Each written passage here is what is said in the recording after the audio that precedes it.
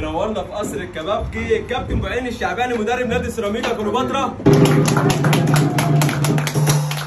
قصر الكبابجي دايما بيشرف وجود حضرتك كابتن ومنور الدنيا كلها.